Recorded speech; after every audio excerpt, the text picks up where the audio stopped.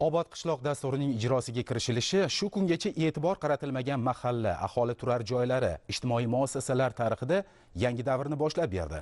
Qisqa muddatda barcha sa'y harakatlar tizimli asosda va rejali yo'lga qo'yildi. Forish tumanining salkam 3800 nafar aholi istiqomat qiladi. Xonbandi mahallasi. Afsuski ayni paytda bu yerdagi holat juda achinarli. Dastur doirasida ushbu mahalla ham yaqin kelajakda umuman yangicha mazmun va qiyofaga ega bo'ladi. Forush tumanining xonbandi mahalla fuqarolar yig'ini qadim tarixga ega. O'tmishda bu yerda ajdodlarimiz qo'lda to'g'on yasab suv keltirib yurtni obod aylagan. Shundan buyon bu go'sha odamlarning doimiy yashash maskaniga aylangan. Yana bir gap mazkur hududning ishlab chiqarish salohiyati ancha yuqori. Shu sabab ham o'tgan asrning 80 yillarda bu yerda qazilma konlari ishga tushirildi va zamonaviy ko'p qavatli uylar turargohlar maishiy xizmat uylari ijtimoiy soha obyektlari qurilib foydalanishga topshirildi. Biroq keyingi yillarda mahalliy hokimliklar va xususiy uy joy mulkdorlari shirkatlari rahbarlarining mas'uliyatsizligi oqibatida uy joy fondi yillar davomida ta'mirlanmasdan tom qismlari va tashqi qiyofasi mutlaqo talabga javob bermaydigan ahvolga kelib qoldi. Prezidentimizning obod qishloq dasturini 2018 yilda amalga oshirish bo'yicha qo'shimcha chora tadbirlar to'g'risidagi qarori qabul qilingandan so'ng tashkil etilgan respublika komissiyasi a'zolari fuqarolarning yashash tarzi bilan tanishdi. Ma'lum bo'ldiki 3778 ta aholi istiqomat qilayotgan mahallada 14 ta ko'p qavatli uylar bor. Bu uylarda 1015 ta oila istiqomat qiladi. Ammo o'tgan yillar davomida hech bir rahbar ulardan holing qanday? deb so'ramadi. Natijada aholi ishsizlik va yana qator ijtimoiy iqtisodiy muammolar girdobida qolishdi. Kommunal xizmatlardagi muammolarning o'zi bir dunyo. Allaqachon bu yerda kanalizatsiya tarmoqlari ishdan chiqqan ichimlik suvi quvurlari va inshootlari yaroqsiz ahvolga kelib qolgan. Oqava inshootlari sanitariya talablariga javob bermaydi. Yuqorida qayd etganimizdek tashkil etilgan xususiy uy joy mulkdorlari shirkatlari rahbarlari xo'ja ko'rsinga faoliyat yuritgan. Sektor rahbarlari ham muammoni chuqurroq o'rganmagan. Mahalla markazidagi to'qqiz qavatli uydagi ahvol yanada achinarli. Yog'ingarchilik payti tomdan oqayotgan suv birinchi qavatgacha tushadi. Uy egalari ko'rpa to'shaklarini suvdan asrash uchun kun bo'yi tashib yurishga majbur. Yog'och pollar yaroqsiz holga kelgan. Lift qachon ishlaganini uy egalari hatto eslay olishmadi ham. Undan faqat zang bosib qiyshaygan eshik yodgorlik bo'lib qolgan. Shu uyning yuqori qismida yashab kelayotgan karimovlar oilasi ham odamlardek yaxshi yashashni istaydi. Ammo buning iloji yo'q.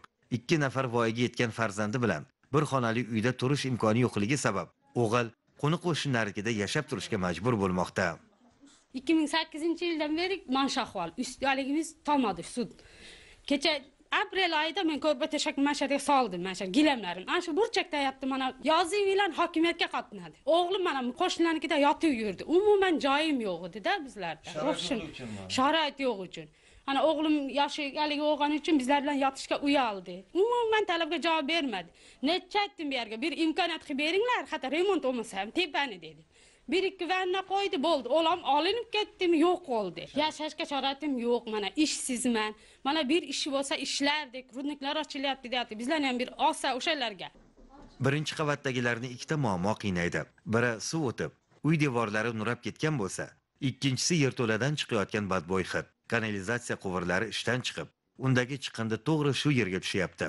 Mahalladagi eski madaniyat uyi ham qarovsiz ahvolda. Bir zamonlar bu yer madaniyat ma'naviyat maskani bo'lganiga bugungi avlod ishonishi qiyin.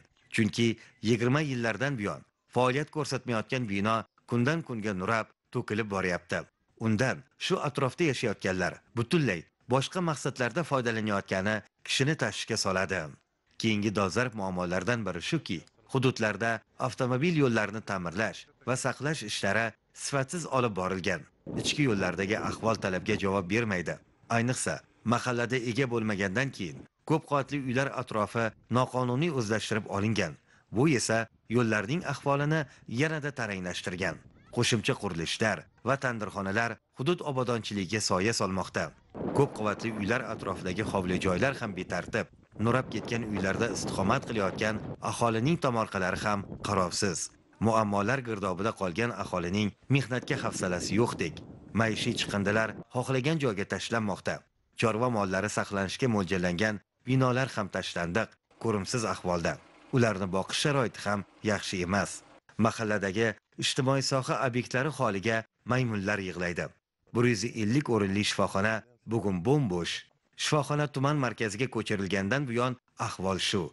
Tayyor binodan samarali foydalanilmaganligi oqibatida kundan kunga yaroqsiz holga kelyapti. Uning bir chekkasidagina forish tuman ko'p tarmoqli markaziy poliklinikasi filiali faoliyat olib bormoqda. Atigi to'rt kishi to'rt mingga yaqin aholiga xizmat ko'rsatadi. Mana shu xodimlar ham vrach ham hamshira ham qorovul ham farosh bu holatda sifatli tibbiy xizmat ko'rsatish haqida gapirib o'tirish o'rinsiz. Eskirgan binodagi jihozlarga sal tegib ketsang tutday to'kiladi. Omonat binoda omonatgina xizmat qilayotgan xodimlarning o'zi ko'makka muhtoj. Shunday ekan bu yerga najot istab kelgan bemor dardiga malham topa oladimi?